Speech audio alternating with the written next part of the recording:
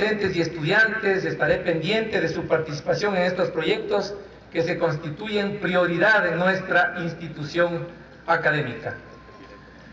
Capítulo especial debe merecer la vinculación de la universidad, de la, de la unidad de gestión de tecnologías con las Fuerzas Armadas,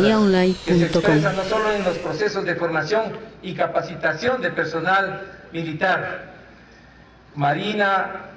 Fuerza Aérea, Ejército, sino en los proyectos en materia de seguridad y defensa, imprescindibles en la actualización tecnológica y doctrinaria de nuestras gloriosas Fuerzas Armadas.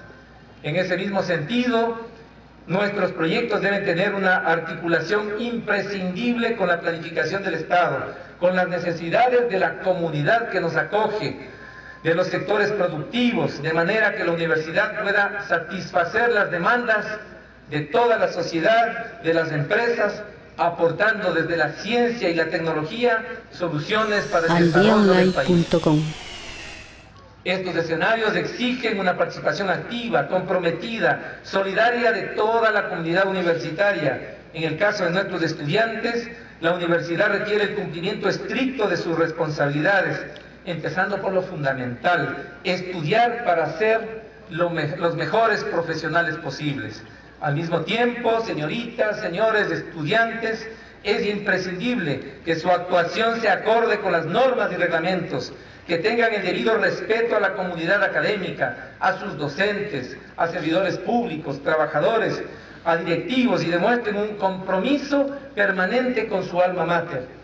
la universidad que les acoge.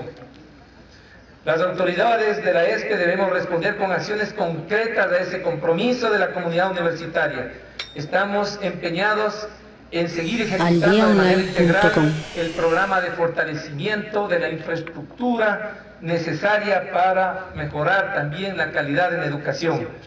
En la, en la parte tecnológica, ampliando todos nuestros servicios en el país, se tiene como eje fundamental la reactivación de la educación no presencial y la nueva oferta de carreras tecnológicas que tanto necesita nuestro país.